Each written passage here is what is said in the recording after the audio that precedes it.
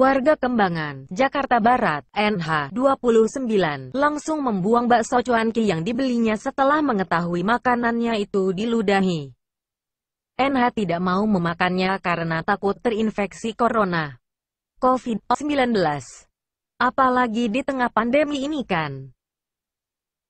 Kita jadi takut, Apalagi protokol kesehatan ini enggak dijalanin, kata Ahmad selaku kakak ipar NH kepada wartawan di Jalan Perumahan Unilever.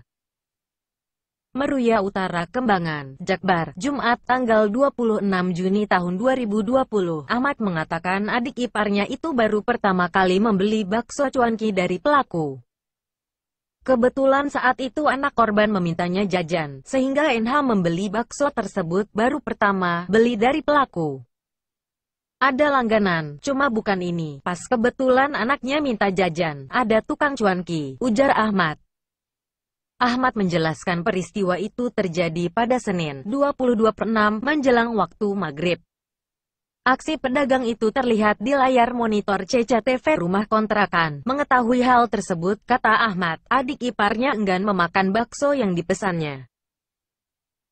Setelah pedagangnya pergi, Bakso cuanki itu langsung dibuang ke toilet. Kemarin nggak sempat makan karena takut dan dibuang. Katanya Ahmad mengaku pihak keluarga enggan memperpanjang masalah tersebut.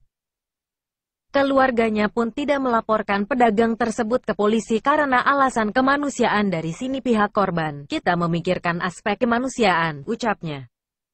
Aksi culas Windra ini akhirnya terbongkar setelah rekaman CCTV tersebar viral di media sosial.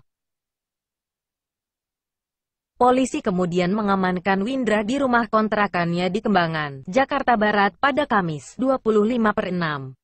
Semula, Windra membantah telah meludahi baksonya.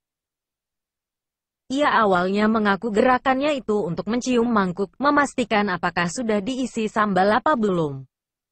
Namun polisi tidak percaya begitu saja. Ia pun akhirnya mengakui telah meludahi mangkuk baksonya itu. Kepada polisi, Windra mengaku meludahi bakso cuanki karena mengikuti ajaran guru spiritualnya.